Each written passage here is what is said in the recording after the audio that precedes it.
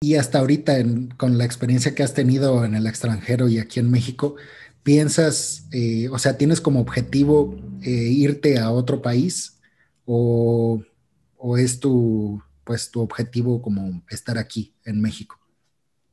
Fíjate que sí me gustaría irme, o sea, creo que entre más joven era, más ilusión tenía con irme. O sea, más era así como de, sí, sí, sí, me voy a ir, me voy a ir, voy a hacer. El doctorado, de hecho, es uno de los sueños que yo tendría como para irme fuera.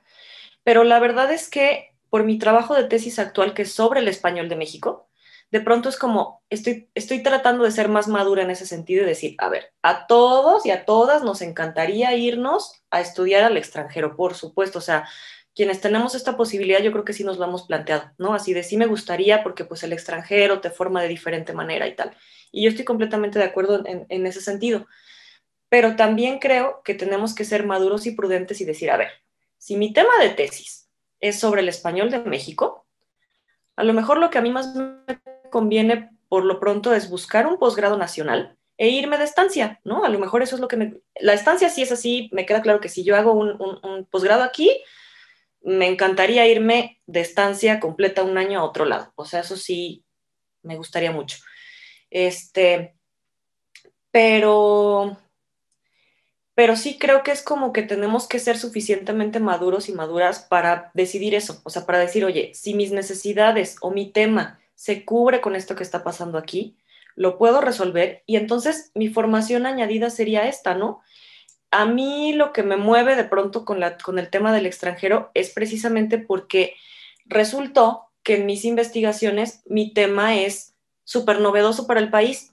Es como, o sea, no, no me quiero ni colgar medallas de más ni nada, pero a mí que me gusta esto de la fraseología, resulta que hay unas unidades de la lengua que se llaman colocaciones, que nadie en el país estudia porque les, han de parecer muy aburridas, ¿no? Que es básicamente qué palabras se, se, combinan con otras de manera muy frecuente en el discurso. Damas y caballeros, física y química, por ponerte ejemplos, ¿no?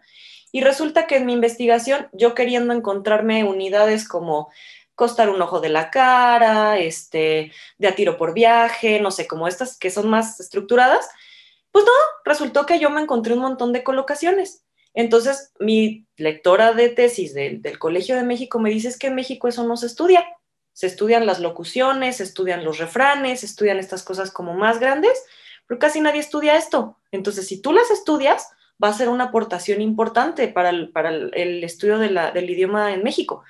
Entonces, de pronto eso es lo que me hizo cuestionar. Me dije, híjole, a lo mejor no es tan conveniente, ¿no? Pero toda la bibliografía evidentemente es española. La gente que estudia colocaciones y fraseología, como pasó en Alicante, como todo esto, es España. Entonces, claro que si hay una oportunidad para agarrar el conocimiento de allá y traérmelo para acá, sí, pero habría que valorar si, si yo estoy trabajando con el español de aquí, a ver, ¿qué es mejor para mi formación? ¿Y qué es mejor para mi investigación? ¿Y qué puedo hacer bien o, qué puedo hacer de manera más adecuada para traer la información?